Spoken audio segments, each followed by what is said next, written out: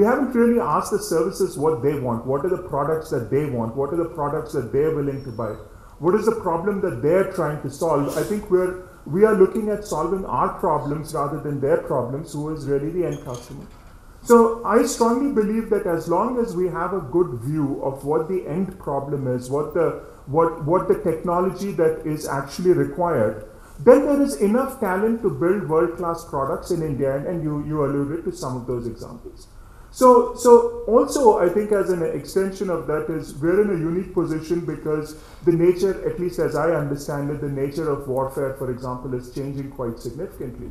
Uh, you know, the emphasis on electronic communications, the emphasis on things like radars, the emphasis on uh, uh, uh unmanned uh, vehicles, is quite significant at this point. I mean, there is a technological shift because we're not, you know, today, uh, if you look at it, and, and, and even five years ago in a, in, a, in a conference like this, China and Pakistan would have come up by now 20 times, right? Relevance or not. But I think the nature itself of, of what we're trying to solve is changing quite dramatically going forward. So the takeaway to me in that is when there is disruption, because the nature of the needs, be it you know from from just from say large combat vehicles, is really changing into something little different around the intellect and the intelligence and the software and the technology and so on and so forth. It's no longer around you know um, um, who has sort of the biggest plane or who has the, the most powerful tank. It's really about how efficiently can you really use your, your equipment. I think that gives us a very unique opportunity to build IP that build technology that addresses that challenge. I think that uh, uh, shift, if we can really address that, that gives us a unique position because ultimately I, I strongly believe that again, you know, hopefully we're a we're a fairly efficient capital market and what happens ultimately is that the best product wins out.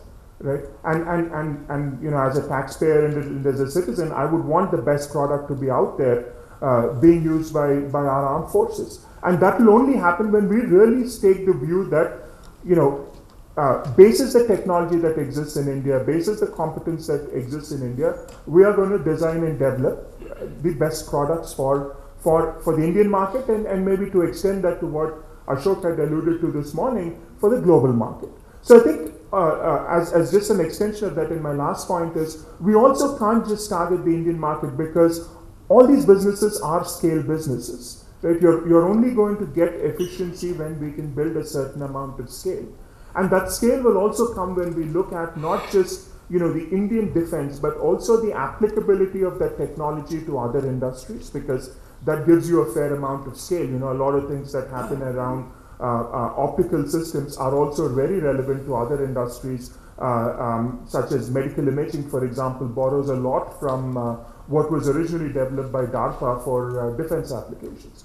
So unless we take a little bit of a wider view that you know the technology that we develop will be relevant for for, for, for a multitude of markets, I think we're limiting ourselves quite significantly. But the opportunity is there because there is a significant amount of disruption in, in how the world is evolving and therefore what the needs are. Uh, thank you very much, uh, Krishna. I think from uh, what he said, uh, the points I could capture are like Firstly, the transparency regarding the requirements from the services.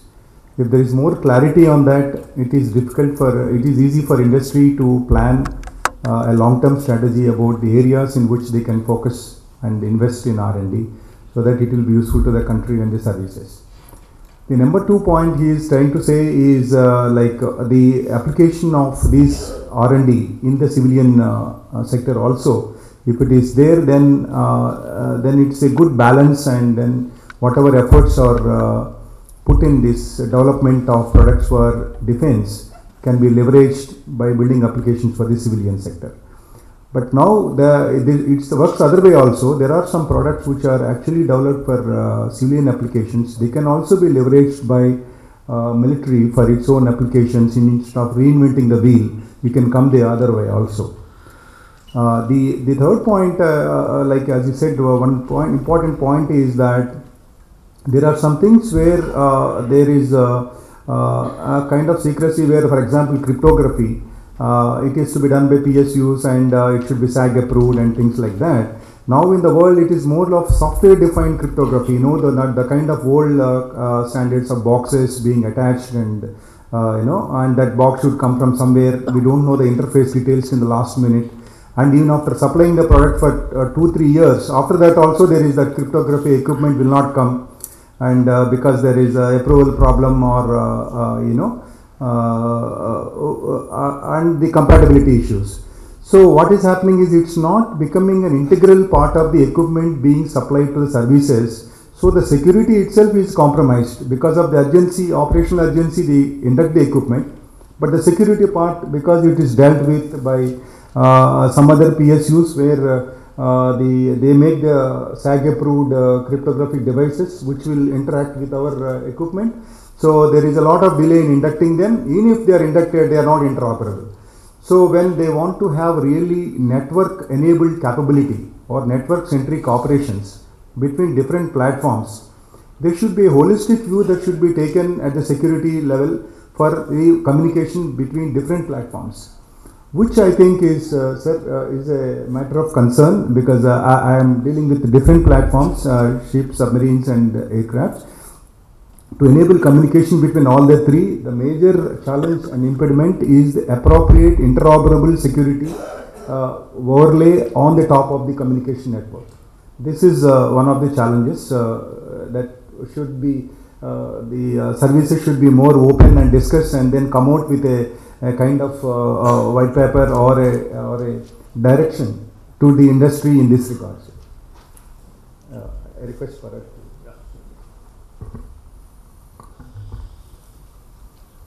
I'll uh, take a in a slightly different view of this. Uh, I won't talk about the process itself.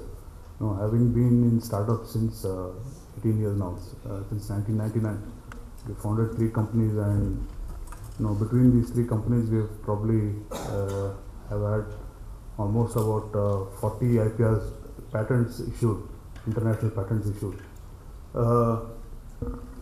intelligence actually, what I realized is intelligence is not a is a necessary condition for uh, innovation, not not sufficient. So you'll see.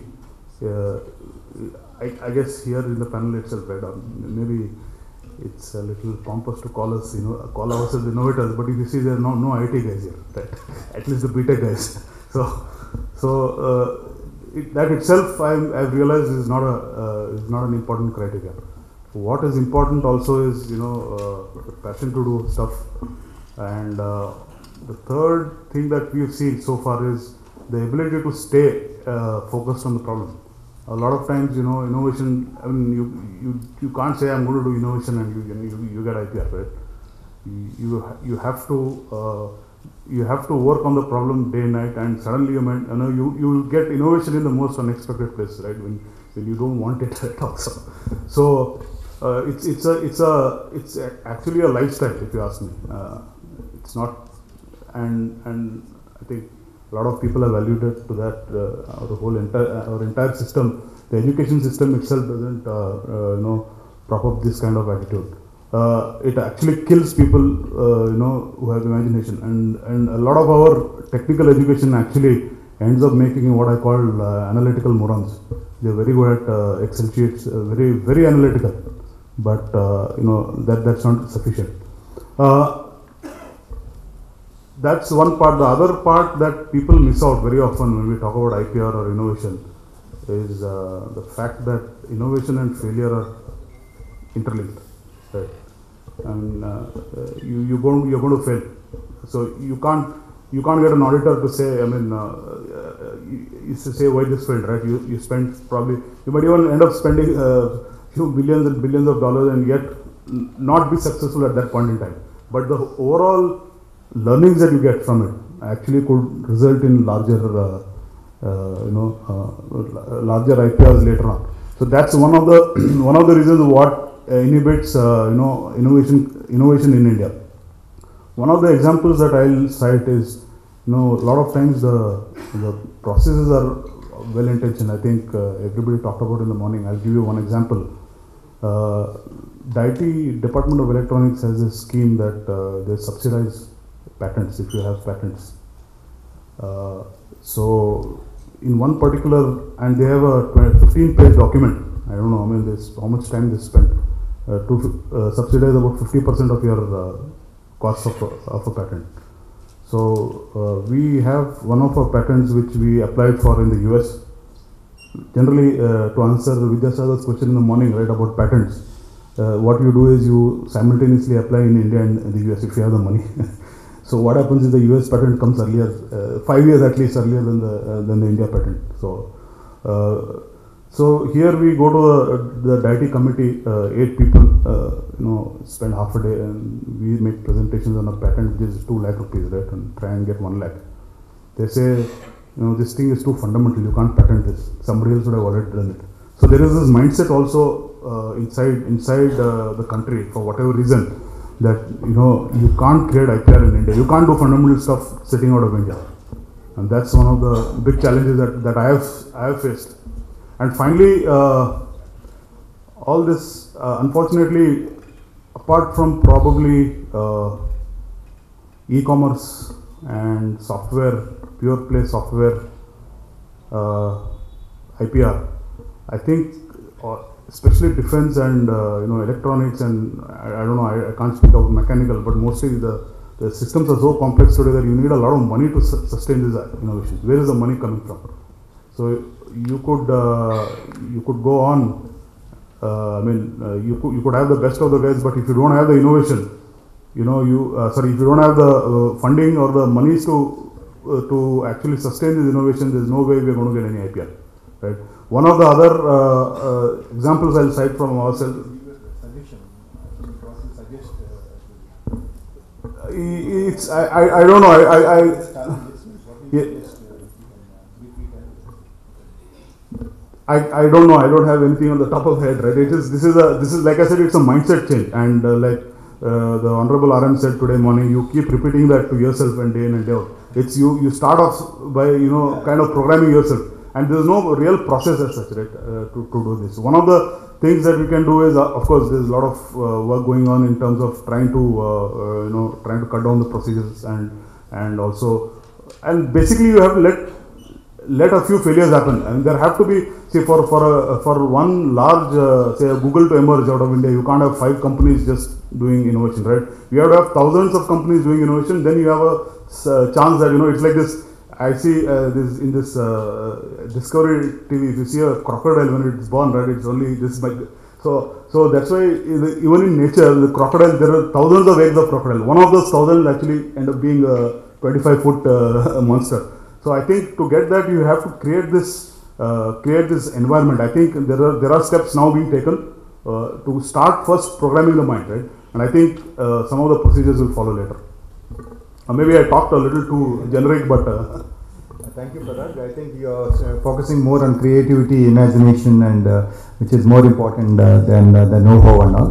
Basically, he's trying to give focus more on know why than than know how. I'm sure know why is more important.